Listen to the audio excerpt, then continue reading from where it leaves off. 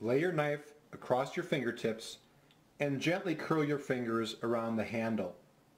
Next, lock the joint of your thumb against the handle.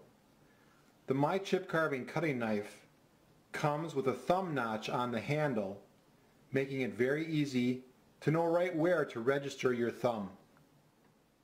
Place the tip of your thumb and your knuckles on the wood. Your thumb, knuckles, and the tip of the blade form a stable base.